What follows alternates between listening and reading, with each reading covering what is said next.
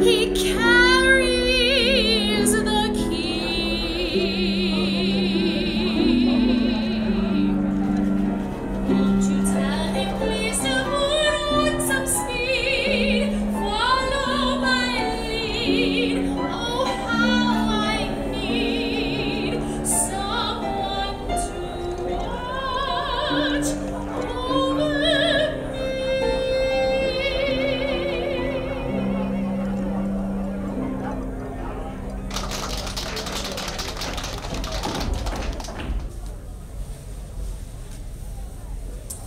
For the trouble of coming downtown. Lexi. Gilly, I see you got my message. If you want to call an address on a piece of paper a message, then yeah, I got it. You know me, to the point. You never were one to beat around the bush, Lexi. Speaking of which, why am I here? I'm sure you didn't invite me downtown to share a cocktail. Oh, let's just catch up a little first. Catch up. Okay, let's see. Uh, we were sipping Tempranillo on the Strait of Gibraltar, and uh, then you were gone. That was about a year ago. Am I missing anything? Okay, down to business. Someone's following me. No, I mean it. There's two of them.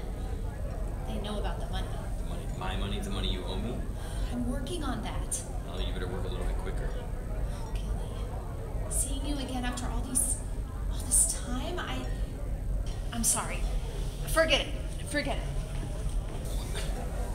Lexi, hang on.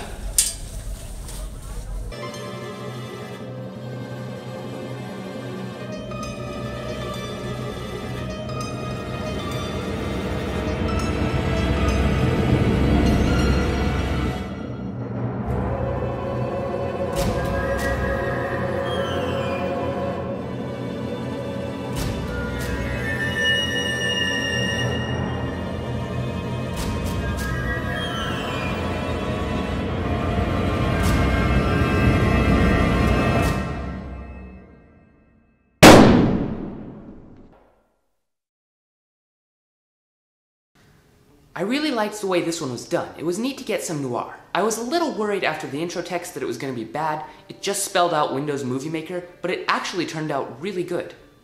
So this shot here with the jib, at least I think it was a jib, corrects me in the comments if I'm wrong, but this is where I was thinking that this was going to be good. If someone bothers to set up a jib, then you know their game. Let's go through the rest of the things I liked about this film, and then we'll get into the things I didn't like. First off, I loved the classic film noir lighting and costumes. We even added the fog in the background, which is just one of those small things that makes a huge difference to the overall production value. So great job with that. Speaking of production value, I loved that you shot in a big city and inside this very classic looking building. It added a ton of production value. Way better than just shooting something in the woods or at your house. So again, great job. The production design was excellent in this film as well. Another thing I really liked was your choice of music. You did a great job choosing music that really added to the mood and helped tell your story, which is something a lot of beginners fail to do. Now, onto what I didn't like. Probably the biggest problem I had with the film was the pacing. A lot of the shots felt like they lasted too long. In this shot, with the boom down, it seemed like it lasted too long after the camera stopped moving.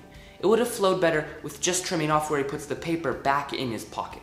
Not a big change, just enough to keep the audience more engaged. Very next shot, I had another problem with the pacing, but not so much in lack of cutting. This shot just felt out of place. I felt like it didn't need to be there. If you had cut straight to the next shot where she's dancing and his shadow walks by, and her finishing her song, we would still get the same feel, but it wouldn't drag on so much. Having this extra shot of her singing in there made it feel too slow. Now, I am really just nitpicking. I really like the video, and I'm not trying to critique too much. I'm just trying to help you improve. A bigger problem I had, though, was how the whole thing looked kind of stretched, like you shot anamorphic and didn't de-squeeze it in post. It's not a big problem, and one that would only probably take you about 10 minutes to fix. But something like this just makes it hard to watch. Now, for the last problem I had, and this one is more of an opinion. It seemed to me like instead of leaving me at a cliffhanger, you finished the story too much by letting us hear that gunshot when he looks up at the end. If you had ended here, right when the shadow shows up, it would be a great cliffhanger and would leave us wondering what happened. But with the gunshot, it sort of feels like you ended the story. I'm not 100% sure where you would go to continue the story from here, actually. Now, if you're like me and just got too attached to that shot of him looking up with the building in the background, which was, by the way, great, I really, really liked that shot, you could have cut the shot in right after she starts running down the road, and then it still would have flowed right, and you could have kept that shot. I actually feel like that would have added to that moment more instead of taking away from the other moment. So, all in all, the main problems I had with your film were in the edit. People often say that you write the film three times. Once when you write it, once when you shoot the film, and once when you edit it. So you may want to work on the third stage some more, But overall, this was a great film and definitely our winner here. We will be contacting you shortly with your prize, so make sure to check your email. But that's all for today. If you enjoyed this video, make sure to like and subscribe. We make new filmmaking tutorials, camera reviews, and visual effect videos every Monday.